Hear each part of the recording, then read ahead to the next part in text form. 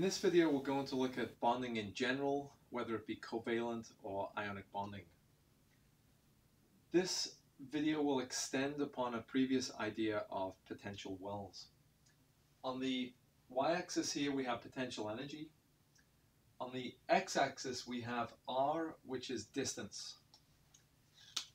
And this point will be zero. So imagine we have two objects and one of the objects is fixed at a distance zero from itself. So let's imagine we have an object here. It could be an atom or a molecule, it doesn't really matter. We'll keep it general. But we have an object here.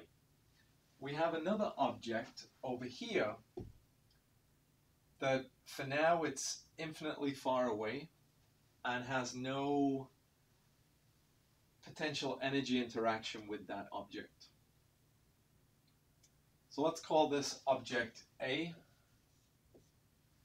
And let's imagine again we have an object uh, over here B. Well, right now, the potential energy for object B with respect to object A is zero this value extends into infinity and it's always at zero. So that's not interesting.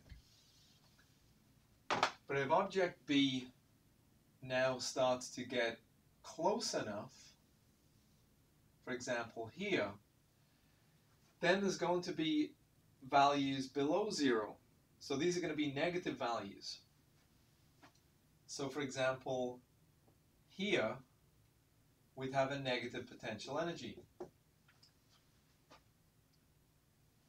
Here we'd have zero potential energy, but clearly here we're below the line. This is a negative potential energy.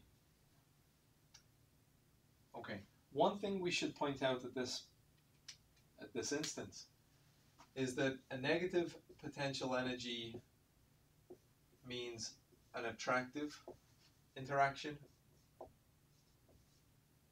Uh, a positive potential energy means a repulsive interaction and zero potential energy means no interaction. Well, I'll put neither.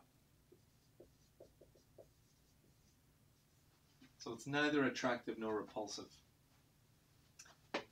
Okay, so let's imagine now this object gets further along again. Let's imagine the object is here. Exactly hovering over this lowest part of the graph, which is the most negative value. So it's the most attractive part of the graph. That means that at this distance, whatever this distance is here,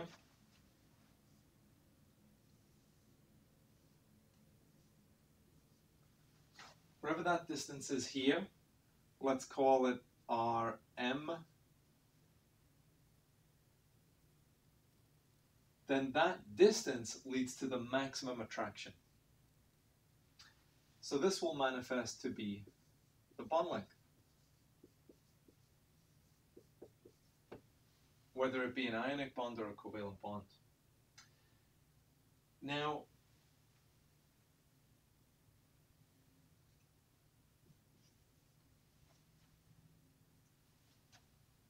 what happens if I try and make the bond length a bit shorter?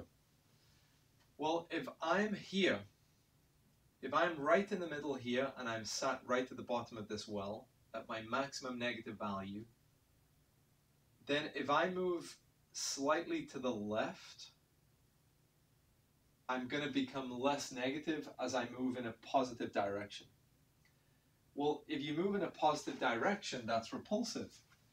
So as soon as you do that, you're just going to go back down again.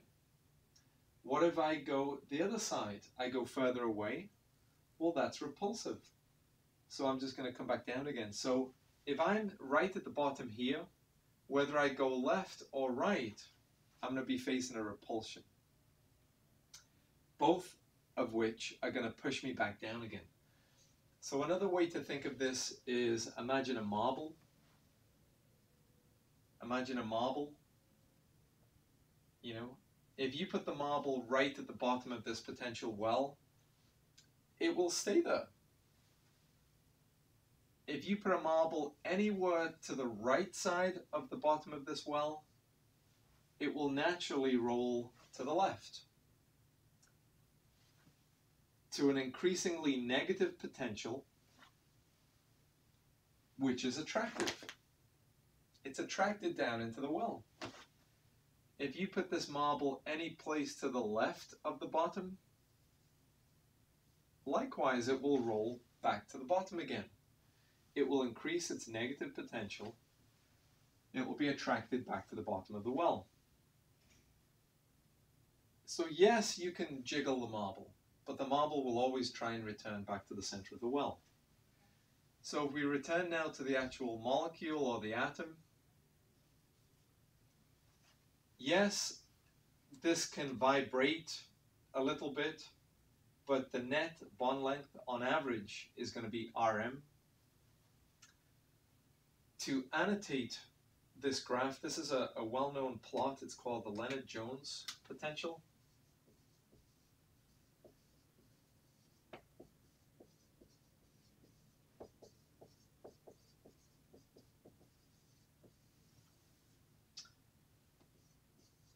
Potential energy, it's going to look like a funny equation, but it's very interpretable. So the Lennard-Jones potential is the number 4, the value epsilon. Epsilon essentially is the depth of this well. So it's uh, as units of potential energy. So it's 4 lots at the deepest part of that well multiplied by the following. Multiplied by something called um, sigma over r raised to the power 12 minus sigma over r raised to the power 6. r is just units of length. Sigma is also a unit of length, but it's a fixed unit of length. Sigma is the length from 0 to where the potential is 0. So this point here, that's sigma. So where there's no net attraction nor repulsion here, that's sigma, it's a constant units of length. Epsilon here um, is the deepest part of the well. And because we have this form here, we know that the overall potential energy is the sum of the repulsion and attraction. So this distance ratio to the sixth power is over here. This is the attractive part. This distance fraction to the 12th power, which ultimately dominates, is why this graph changes direction. Um, because as you can see, as R gets smaller, the factor of 12 hits that numerator greater than this factor of 6 does. So at large R, the attraction dominates. At smaller r, the repulsion dominates. And essentially, there's a distance beyond which there's no attraction. And we would interpret that as nuclear repulsion. So the positive charges of the adjacent nuclei we just repel each other and ultimately contributes to our understanding of the universe having a size. You know, can you imagine if there was no repulsion? Everything would condense to a zero point and there'd be no floor to stand on, there'd be no sky to have above you, there'd be no anything. Um, so Lennard-Jones potential, very convenient way to look at general bonding.